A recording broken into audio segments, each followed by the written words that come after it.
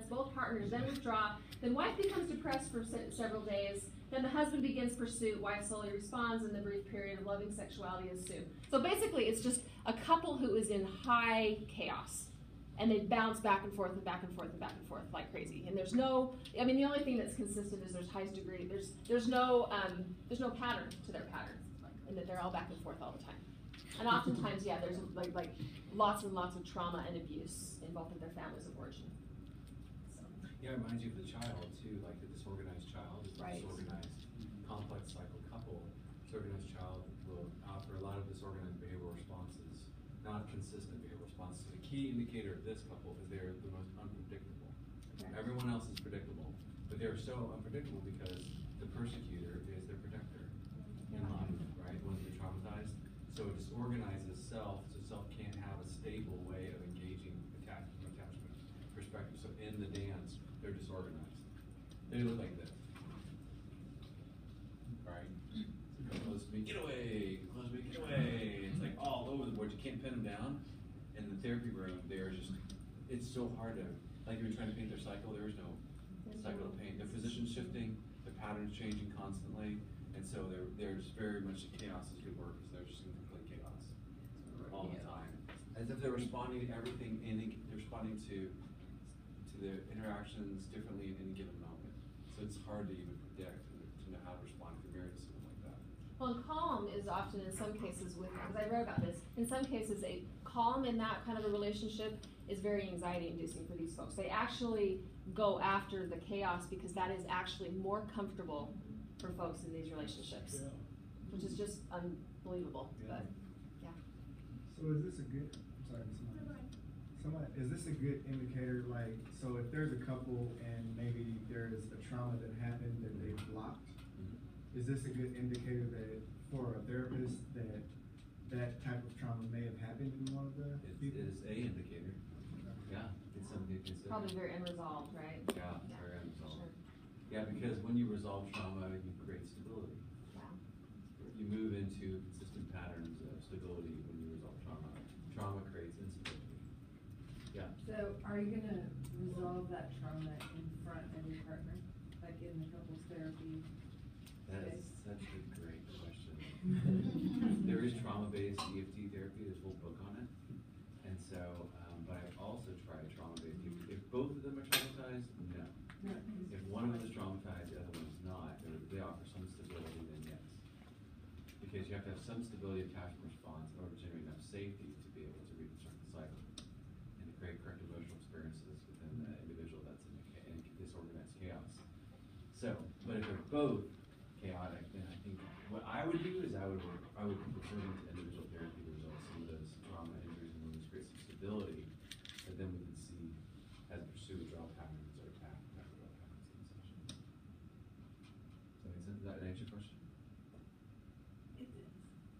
I don't know that they're capable of, of establishing a secure bond with one another if they're in this stance. Do you think? No, no, Yeah, I don't think so, because No, they, it's- because their trauma histories are so complex, I don't know that they have the capacity, so I don't know that you could do it. Right. But they need their individual They, right, work they done wouldn't even first. respond to your own therapeutic intervention, Right, right? Through a- That's in the way it is couples with a, uh, a borderline or correct. patient that's disorganized, they don't respond to your intervention, nothing's right. Yeah. So there's no stability within self to be able, for the intervention to work. You look confused. Well, I got one, okay, she just finally divulged some past trauma. And, but he's a withdrawer, but he's doing a little Yeah. bit better, he's getting Yeah. more and more better. But I also see her individually and was gonna address some of that trauma Yeah. individually first. And I don't know if she feels secure enough to process that in front of him. Is it something you just like kinda like cry her for? Yeah, I mean, I do it, I do it in front of the partner, um, because they're the ones that will hold them, Right. you know, and so if they can start offering secure-based responses, and I can start initiate some secure-based responses rather than normal withdrawal. Yeah. And let's say like they go into chaos and they, I prime or soften sort of movement towards, and then they sort of, it disrupts the chaos. And then you're able to feel, feel the safety of the partner, and then they're able to go a little bit further in processing the trauma. Because the part, the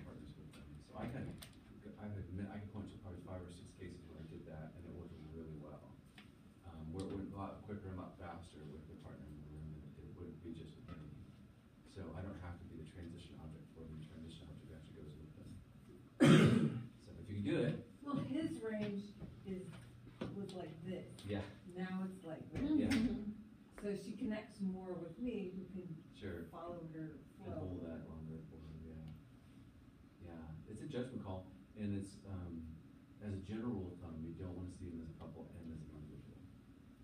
Because you're, do- you become the surrogate attachment figure for them in the individual work, and then also the couple work is treating both.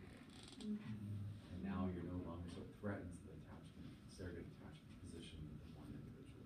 So if I'm looking at your trauma, we're getting connected, surrogate attachment connection, then I flip you to couples, and all of a sudden I turn to the partner, your partner and I say, and I validate or reframe what they're saying, and it threatens you, then I'm, I'm threatening our attachment. So it's something that we as discourage from best practices. obviously. But you know, when you're a starving student, you're trying to get your hours in.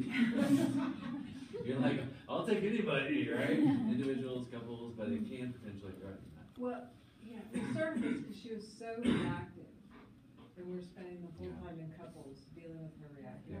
So sure. I started seeing her a couple times, That to sense. prep her more, Right.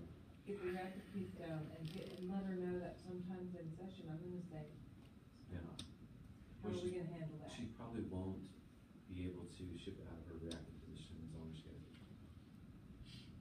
So that means a lot of work, you know, um, so like if I was working with a couple, I'd prefer to Valerie the individual. Valerie can do the individual trauma work, and I'll continue to work with a couple. So what Valerie's work is creating more stability for the trauma survivor and the therapy.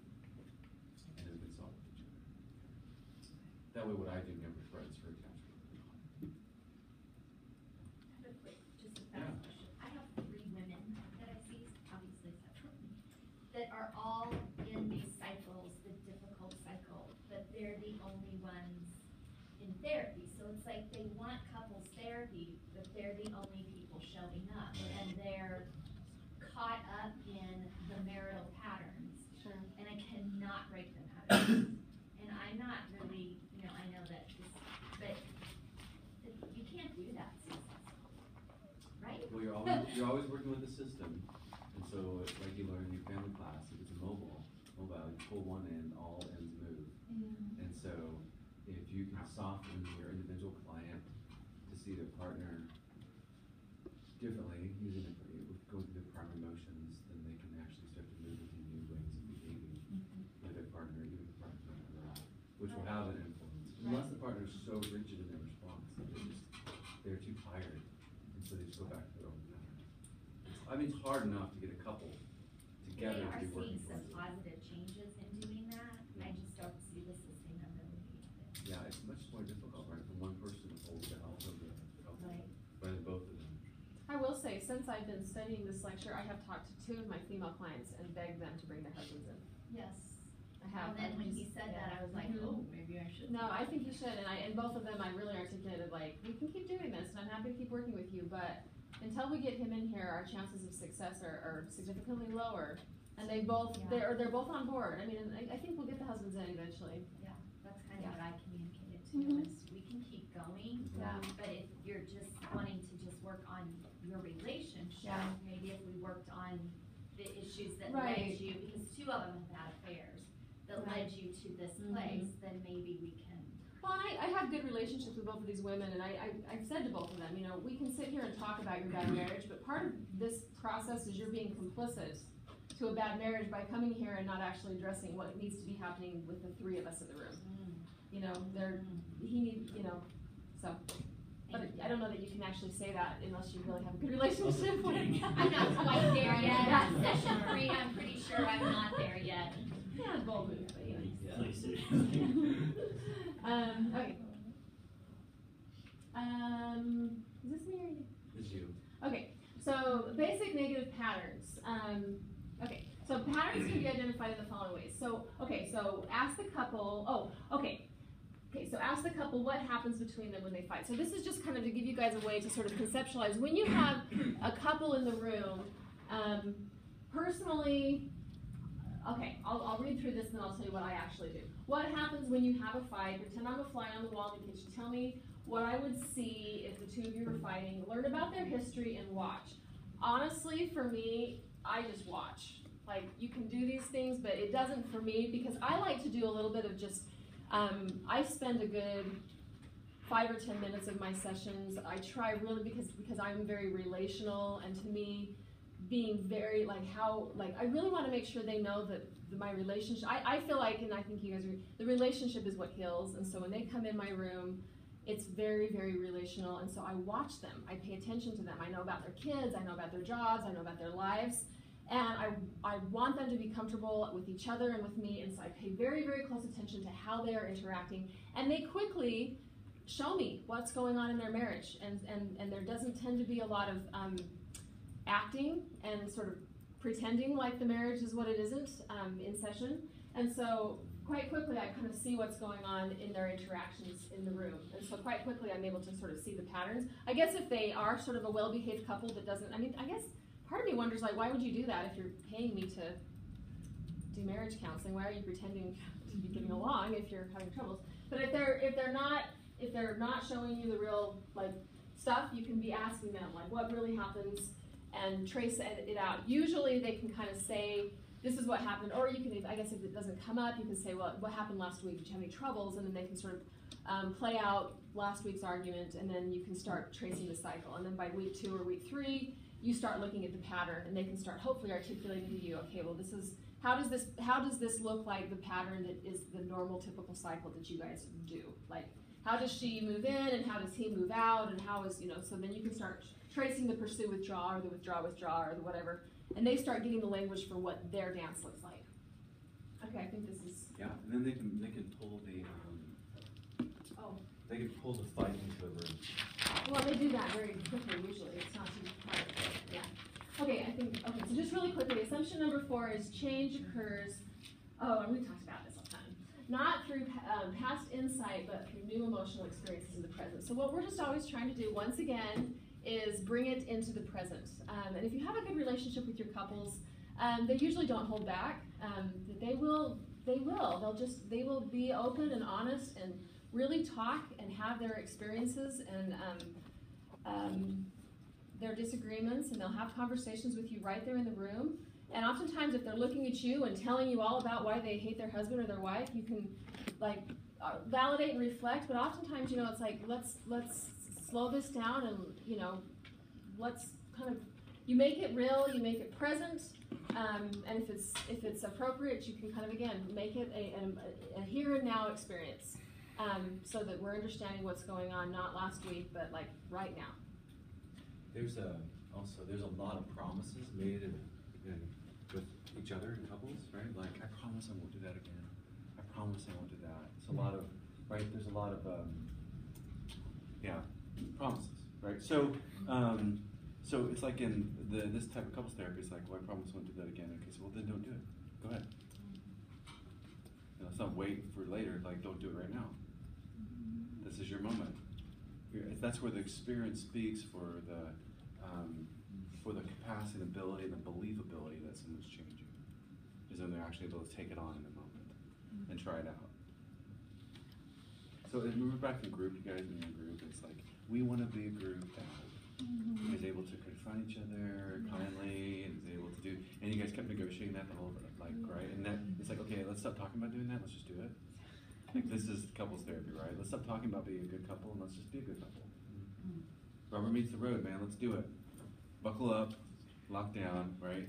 Do your thing, or don't do your thing. But either way, don't make promises that you're not gonna keep, that are gonna placate your partner, is a form withdrawal, until the next time you do it, right? okay. All right, let's watch. Um, let's watch this video. So, what I want you guys to do, we're gonna watch this for 15 minutes. We're gonna identify primary emotions, positions, right? Motions, positions, patterns, and present experiences. So we're gonna see Sue looking for primary emotions like hurt, sense, secure, joy, shame. Positions or patterns like complex, attack, attack, pursue, withdraw, or withdraw, withdraw. Okay. We're gonna try and identify Mark Prue's pattern, their position, and their primary emotion.